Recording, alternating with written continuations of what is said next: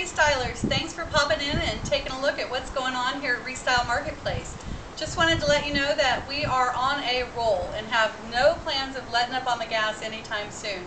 Things are fun and crazy and chaotic and we're loving every minute of it and can't wait for you to come and enjoy the store with us.